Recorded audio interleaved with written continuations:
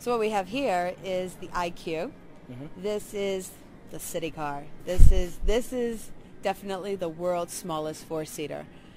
The back row is a pretty flexible back row because it essentially becomes your trunk space or your back row. So you just put the back seats down. So it gives you the opportunity to incorporate um, using it with passengers if you need to. What we've incorporated in the design here is the staggered seating system. So the front passenger is going to sit a little bit further up than the driver. So this way you could fit an adult behind the front passenger. Sure. Very difficult to fit an adult behind um, the driver, but if your driver was very short, potentially you could.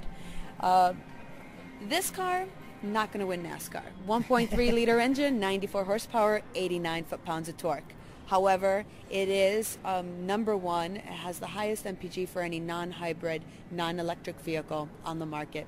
36, 37 is the miles, um, the MPG, excuse me, for 37 combined. Okay. The price of the vehicle is $16,250.